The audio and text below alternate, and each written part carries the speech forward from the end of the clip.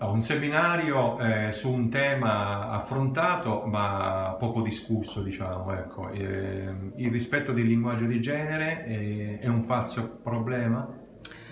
Assolutamente no, non è un falso problema, è un problema reale.